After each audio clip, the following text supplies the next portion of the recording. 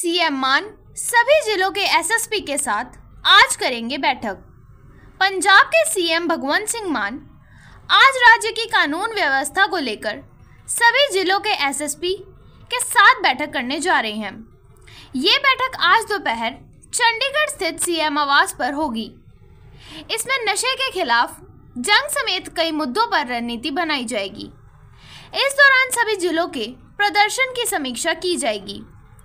हालाँकि सीएम पहले ही साफ़ आदेश दे चुके हैं कि पुलिस को अपने व्यवहार से लोगों का दिल जीतना होगा। सीएम भगवंत मान करीब तीन महीने बाद सभी जिलों के एसएसपी के साथ बैठक करने जा रहे हैं। इससे पहले उन्होंने लोकसभा चुनाव की आचार संहिता लगने से पहले भी बैठक की थी। हालाँकि ये बैठक काफ़ी अहम मानी जा रही है, क्योंकि सीएम मान ने चुनाव के चलते पूरे राज्य का दौरा किया है। साथ ही सीएम को, पुलिस को लेकर कई सुझाव और शिकायतें भी मिली हैं। ऐसे में इस बैठक में उन बातों पर चर्चा की जाएगी।